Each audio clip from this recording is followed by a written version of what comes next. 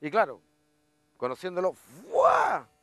pasó largo, engancho, pasa de largo, yo voy con la pelota aquí pegado, y después lo veo en la foto, yo no lo veo. Cuando yo le doy un toque y hago esto, el uruguayo que sabía recuperar quiero me tiró un viaje que no me alcanza a pegar. Y después aquí me tira otro viaje y tampoco me alcanza a pegar.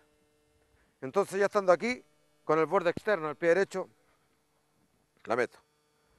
Y después, acuérdate que esto era de... Después me abrazo la pelota y aquí. Me abrazo la pelota, entonces me decían, chino, chino, chino, chino, chino. Y yo miro y me sacan la foto desde allá. Bueno, ya llega mi compañero a abrazarme, como te digo, pero eh, eh, lo único que sé que era un zumbido de abejas, lo único que sé que el, público, 70 mil personas o más de 70 mil. Yo no sabía que, que, habían gritado, se pasó, se pasó, se pasó, hasta después de haber visto los diarios.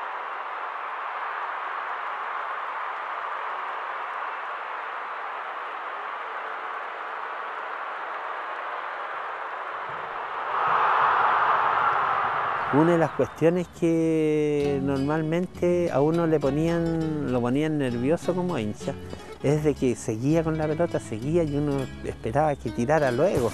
En ese gol me acuerdo yo, eh, se había pasado a medio mundo ya. Y nosotros pensábamos de que iba a patear desde ahí, sin embargo siguió corriendo con la pelota hasta meterse dentro del arco. Claro, después que, que metió el gol, súper bien, pero antes le habíamos echado cualquier cantidad de garabato que ya veíamos que el, que el arquero incluso trató de hacerle un foul. No, salió un grito, no sé de quién, se pasó, se pasó, empezaron a gritar otra gente a lo mejor, y después todo el mundo se hizo parte del grito y ya el estadio gritaba enfervorizado.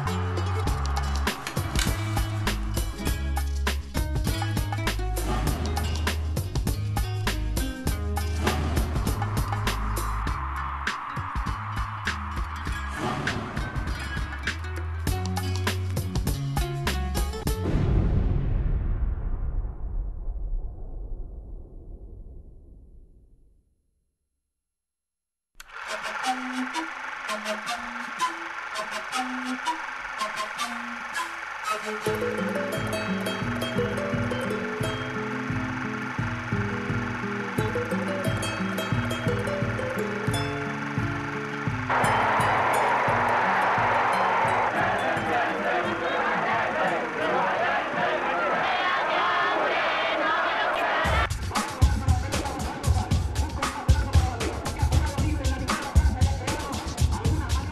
Problema era ese, que no, no, las colas y todas las cosas que estaban en ese momento ya. Y, uno que era, que era, yo en, este, ese tiempo, era, o sea, siempre, siempre he sido partidario de, ese, de Allende, eh, lo sentíamos, con, teníamos con mucho dolor, ¿sí?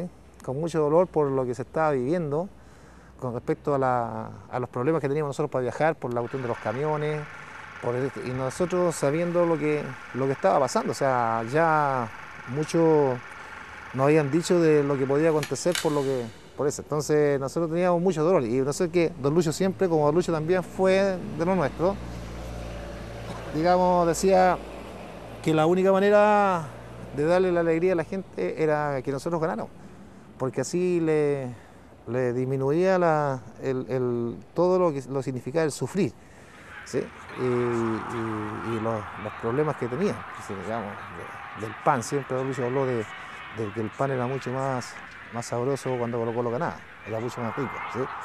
El día lunes el, obrero, el ferroviario, todo eso decía que encontrar el pan los niños, encontrar mucho más rico el pan cuando colocó lo ganaba. Y eso lo sentíamos nosotros a lo mejor un poco ingenuo, pero, pero si se puede mirar bajo otro punto de vista, pero nosotros lo, éramos, lo mirábamos así. Y nos entregábamos entero por, por, esa causa, por nosotros mismos, por nuestra familia y por, y por la gente.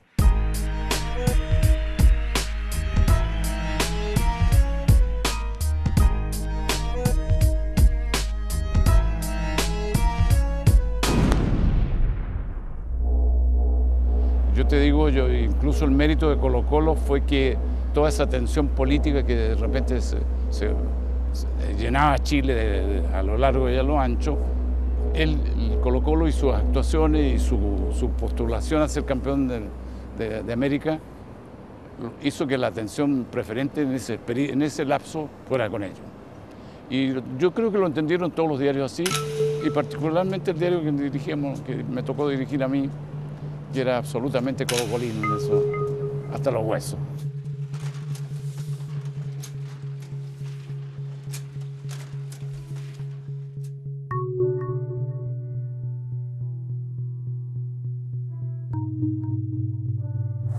Bueno, era un momento muy difícil y, y, nos tocó ir muchas veces a la moneda porque indudablemente que estaba en los últimos días de Salvador Allende y, y Colo Colo pasó a ser eh, el alivio que tuvo el gobierno de Allende en sus momentos, los momentos más difíciles. Cada triunfo de Colo Colo eh, prácticamente hacía olvidarse de todos los problemas que se estaban viviendo. Entonces éramos asidos visitantes de, de la moneda y del gobierno de, de Salvador Allende. Entonces yo creo que para ese gobierno en ese momento fue muy importante y para la gente también porque se, se olvidaron muchos problemas que estaban por venirse.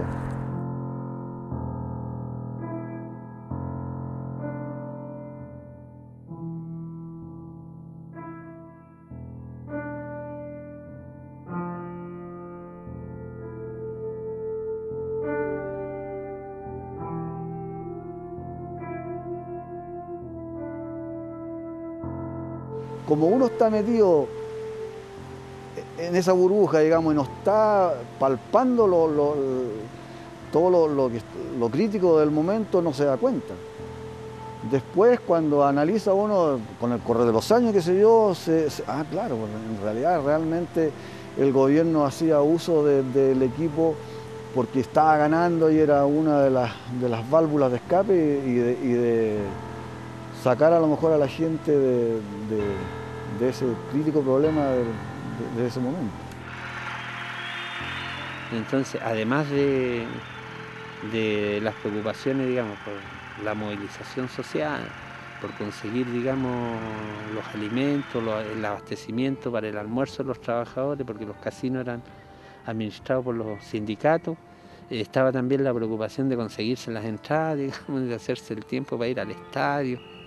Y yo creo que fue una, una, época bonita, como toda esa época de la Unidad Popular, aun cuando después, digamos, no lo pasáramos muy bien. Pero el, a mi modo de ver, digamos, la campaña de Colo Colo del 73 está enmarcada en la campaña que se da en ese tiempo en términos de, de, del orgullo de ser trabajador, el orgullo de ser popular, el orgullo de ser del pueblo.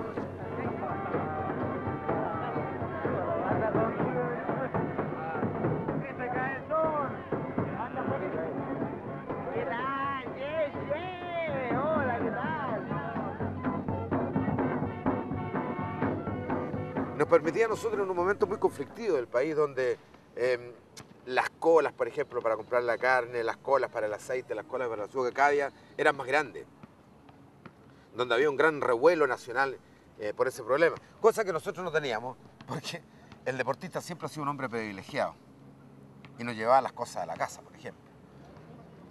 En el instante también, por ejemplo, con mis compañeros de universidad, cuando todo era tan revolucionario y en la universidad se hablaban de temas tan candentes como la política, como, eh, como la economía del país.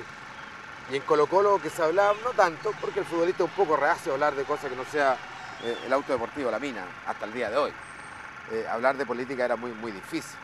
Pero sí tratar de hacer entender a los, a los compañeros de profesión de que nosotros primero somos personas que vivimos en una sociedad y que teníamos que tratar de toda forma posible de poder continuar con esta ilusión de un país socialista elegido por primera vez por votación en la historia del mundo y decir, nivelemos hacia arriba, que todo el mundo tenga educación, que todo el mundo tenga una salud, hasta el día de hoy, ¿eh?